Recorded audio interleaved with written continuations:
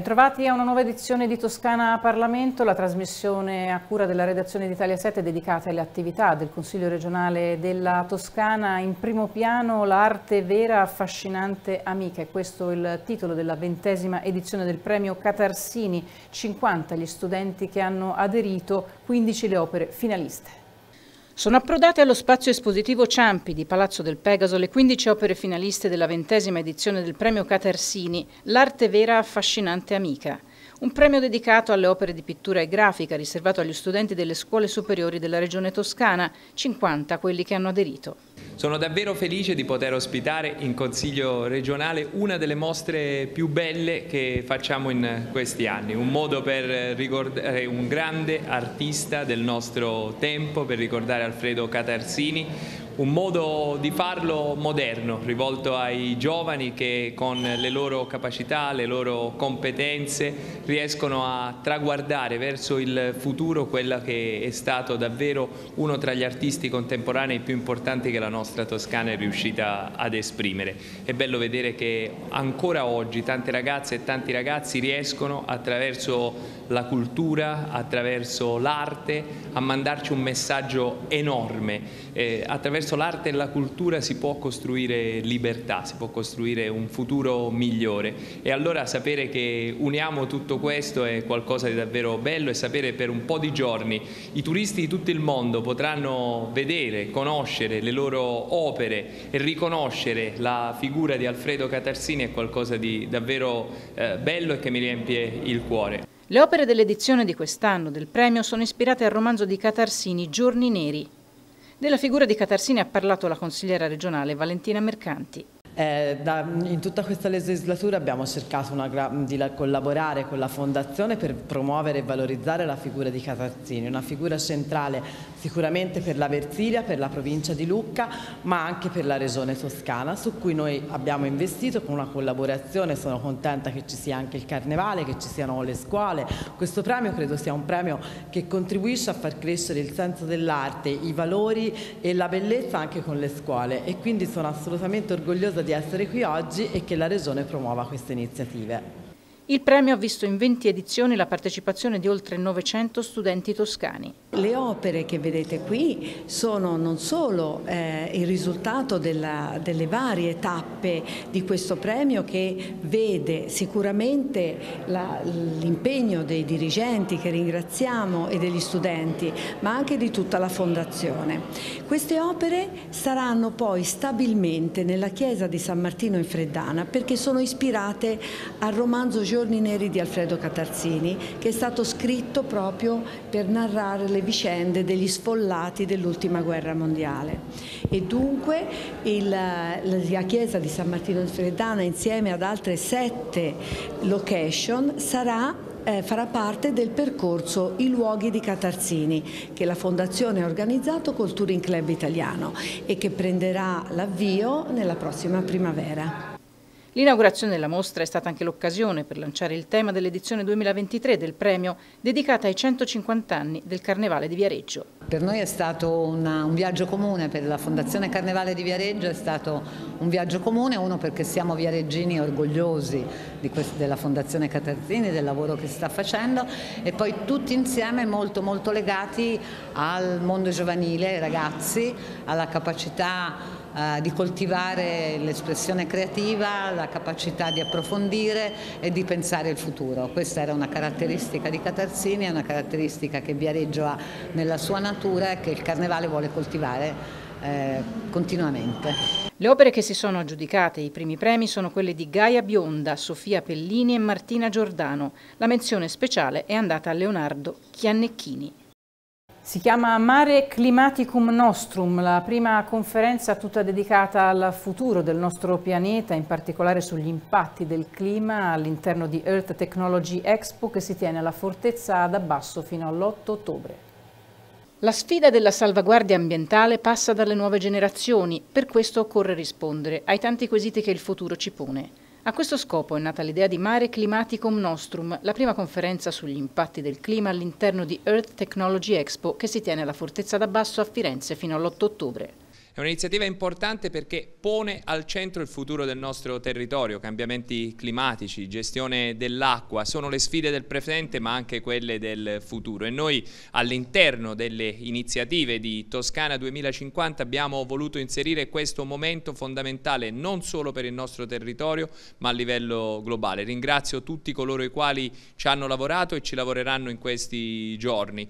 Le ragazze e i ragazzi più giovani ci pongono questo tema come la sfida attorno a cui ciascuno di noi deve cimentarsi e la politica o ha la capacità di anticipare il progresso, di capire cosa sta accadendo e di prendere decisioni che vadano nella direzione giusta, oppure lo subisce e rischia eh, di non svolgere la funzione a cui è chiamata.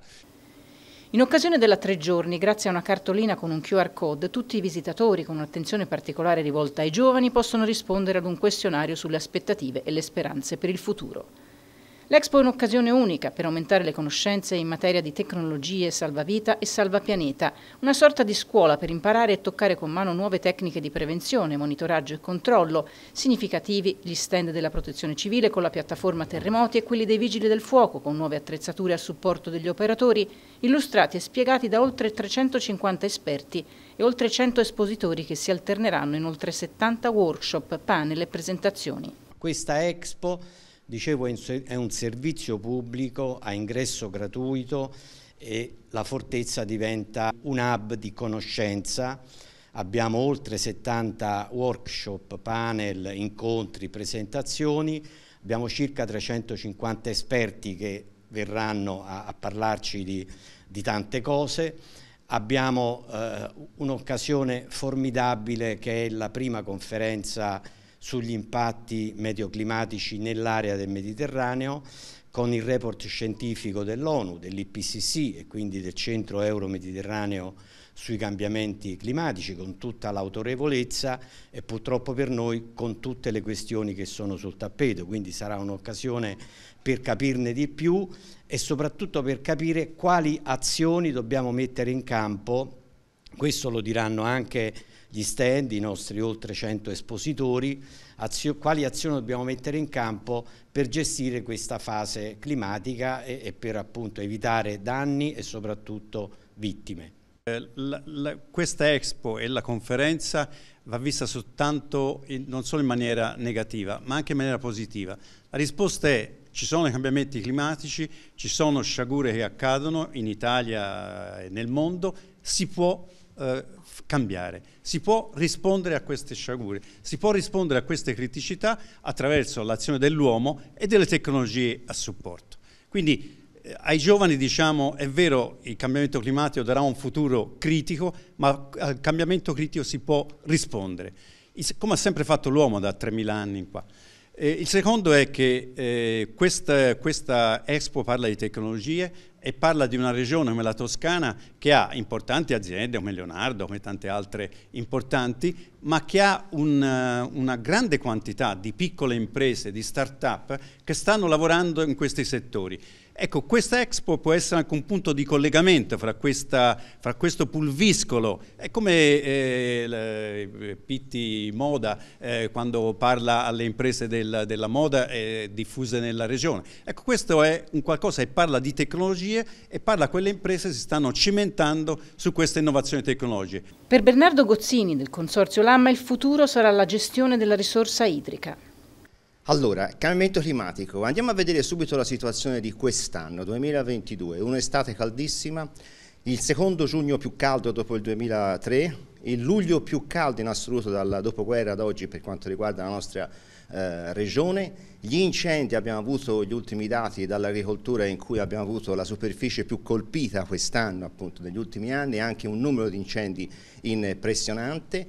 Il, la siccità, siccità che ha cominciato nel gennaio ed è durata appunto praticamente fino eh, ad ora ed infine gli eventi estremi, 15 agosto come vi ricordate Grassina e 18 agosto praticamente quelli che sono stati i colpi di vento su Carrara e lungo la costa. Questi sono segnali evidenti, segnali che ormai ci fanno compagnia per eh, ormai da tanto tempo e che saranno lo scenario del nostro futuro. A proposito della siccità e della gestione della risorsa idrica, e noi ospitiamo con piacere la seconda edizione di ETE abbiamo lo scorso anno verificato la bellezza e anche la novità di una fiera dedicata alla transizione digitale e ambientale. Eh, ricordo una grande partecipazione e ricordo con piacere tanta partecipazione di giovani perché tocchiamo temi che sono importanti e che colpiscono anche le generazioni più giovani. Quest'anno è già importante arrivare alla seconda edizione.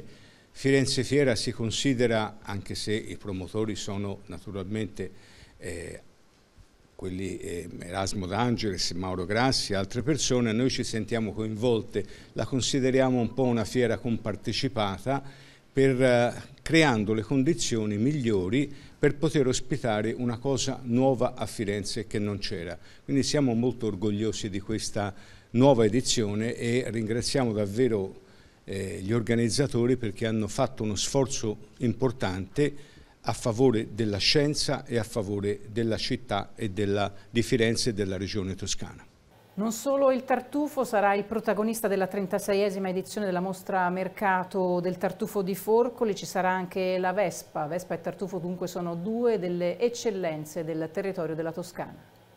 Sarà il binomio Vespa e Tartufo, due eccellenze toscane, il tema della 36esima edizione della Mostra Mercato del Tartufo di Forcoli, frazione del comune di Palaia, in provincia di Pisa. L'evento, che offre il meglio dei prodotti enogastronomici del territorio, si svolgerà dal 7 al 9 di ottobre nell'area del centro Nuova Primavera e si inserisce nella stagione delle feste del Tartufo delle colline Miniatesi. Nel corso della serata inaugurale la cerimonia di consegna del Tartufo d'Oro, che quest'anno vede la premiazione del presidente della Fondazione Piaggio, Riccardo Costagliola. Sabato 8 e domenica 9 le opportunità per i partecipanti con stand gastronomici, degustazioni, animazioni e musica dal vivo. Beh, il tartufo è sicuramente un elemento che promuove il territorio, che racconta un territorio non solo bello dal punto di vista paesaggistico, ma anche un territorio eh, sano, un territorio ambientalmente eh, pulito e quindi fecondo e idoneo per la produzione di uno dei prodotti di, maggiore, di maggior pregio. Ecco, il tartufo racconta davvero le migliori qualità del territorio, del territorio palaiese che è una delle aree maggiormente evocate questa, alla produzione di questo pregiatissimo tubero ed è uno strumento anche di promozione eh, turistica e di valorizzazione del, delle realtà storiche, artistiche e culturali straordinarie. L'iniziativa è stata presentata dal sindaco di Palaia, Marco Gherardini. Beh, aspettiamo tante persone anche quest'anno per la 36esima edizione della mostra del tartufo di Forcoli. Alla corte del re Tartufo anche tutte le altre eccellenze locali del, del, territorio. Il Tartufo la farà da, da, protagonista, il territorio comunale di Palaia è un territorio eh, ricco del, eh, del, di questo pregiato fungo, i nostri boschi sono percorsi in lungo e in largo dai tartufai in queste settimane per la ricerca del, del, tartufo bianco pregiato e sarà possibile degustare il 7, l'8 e il 9 ottobre a Forcoli alla mostra mercato che giunge come dicevo alla sua 36esima edizione, un'edizione importante per, per, il paese di Forcoli, eh, il tema di quest'anno sarà Vespa e Tartufo, eh, un'abbinata che eh, possiamo raccontare in questi termini. Il, eh, la Vespa è stato il primo mezzo di locomozione per i tartufai per raggiungere eh, con, con, facilità eh, i, i, nostri boschi, girarli, percorrerli, a volte anche nascondere il, il mezzo stesso per non farsi scovare eh, da, dagli altri colleghi tartufai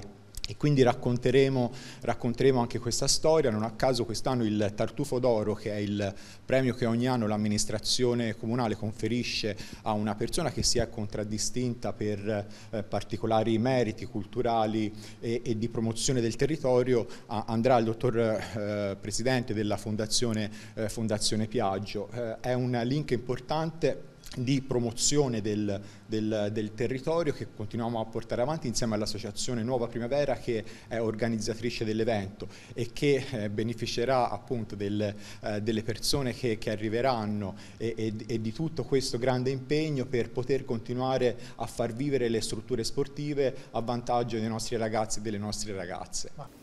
A organizzare l'evento l'associazione Nuova Primavera. Noi siamo gli organizzatori della festa praticamente da 36 anni, eh, un'associazione di volontariato che si dedica allo sport per i ragazzi e per lo sviluppo della valorizzazione del territorio soprattutto di Palaia. Quindi il nostro obiettivo è fare una festa come abbiamo fatto negli anni passati con ottimi risultati che ci dia la possibilità poi di far vivere le nostre attività associative. Abbiamo circa 250 ragazzi che fanno sport con noi tra il calcio, pattinaggio più altre attività collaterali, quindi il nostro obiettivo è esattamente questo. Da Toscana Parlamento è tutto, appuntamento alla prossima puntata.